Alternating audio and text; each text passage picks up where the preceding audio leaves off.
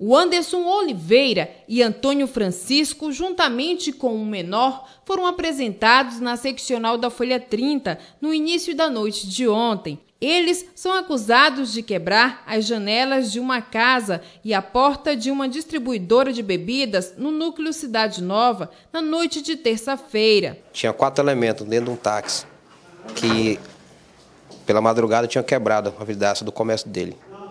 De início a gente saiu, mas três deles saíram correndo ali pela, na Gimutran.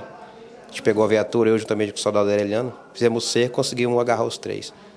Sendo constatado que um menor no momento, a gente pegou, ele estava com a faca e um maior.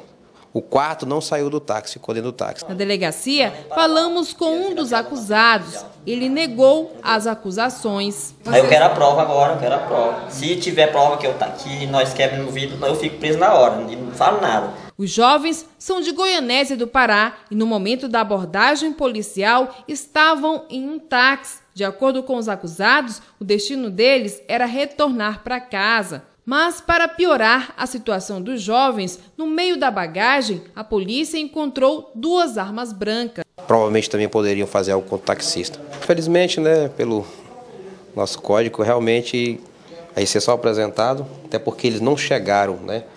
Táxi foi bem, o taxista não, realmente eles não fizeram nada comigo. Então não tem nada contra eles a respeito da faca, apenas é a apresentação da faca, né, com certeza vão ser liberados.